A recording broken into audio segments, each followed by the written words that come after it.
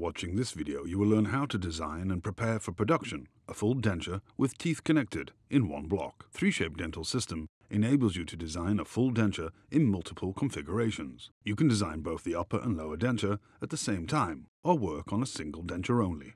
While making the design, you can decide to connect all teeth in one block and later produce the denture by milling, printing, or a combination of both methods. The decision on how you'll manufacture should be taken while creating the order. If you decide on printing the order, you should follow this workflow. Mark the teeth and go to Anatomy to select Artificial Tooth, then its material, color, and manufacturing process. The one for printing, provided by 3Shape, is called Model Manufacturing.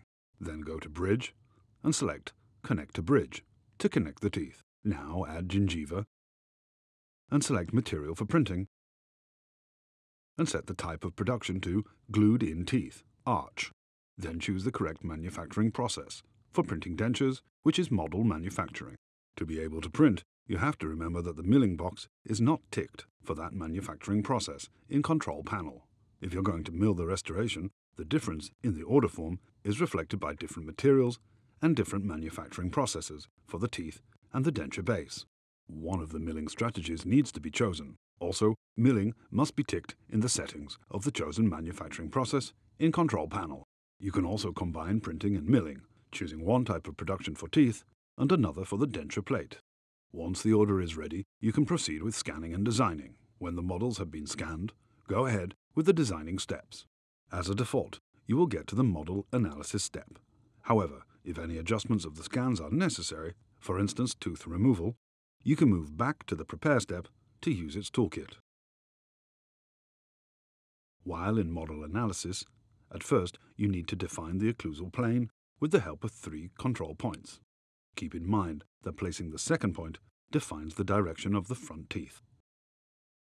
Now define the characteristic points for the jaw you are working with. Select tuberosity. Next, the incisive papilla, the second tuberosity, and two canine points. And click Next. Select the Draw Outline button, and then use a pencil to draw the line of the denture.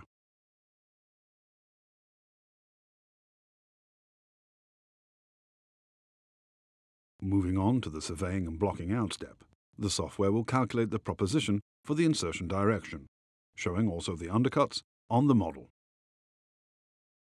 If you are going to make a try-in denture, you might need to block any undercuts with the help of wax. You can skip this option if this is something that you don't need. Further on is the FD initial setup step. You can use any type of teeth from Smile Composer libraries.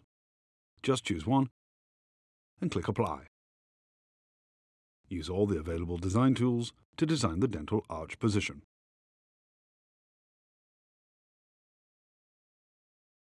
Then click Next to get to the base step, where you can change base thickness and create relief zones.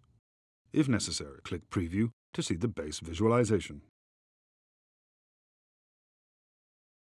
Click Next to get to the Anatomy Design step. In the Sculpt Anatomy sub-step, you have the Sculpt Toolkit. Use its tools to work on teeth anatomy.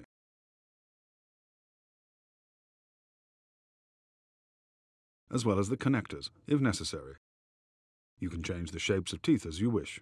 You're not limited to the library shapes when you print or mill teeth. At that step, you can also use the virtual articulator to adjust the dynamic occlusion. You can do that when you work on a two dentures case as well.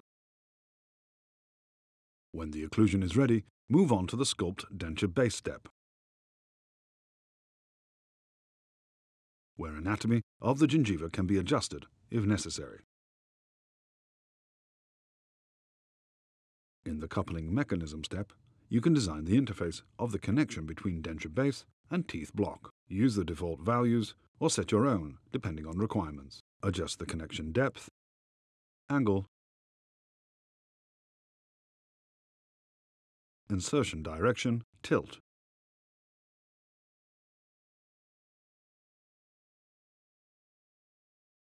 as well as the rounding radius and fillet radius. When finished with these settings, click Next to get to the pre-manufacturing settings, where you can adjust the settings for the denture base connection. Among these settings, you will find minimum thickness under the teeth and glue space, as well as other parameters of pockets related to milling, such as drill compensation and drill radius. When done, click Next to get to the Save step to save the design. When you close the case and generate the CAM output, you can explore the outcomes of the design in the previously defined way.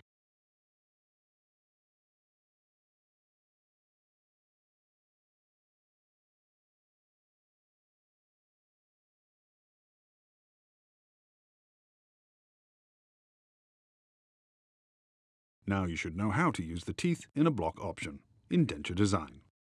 Thank you for watching.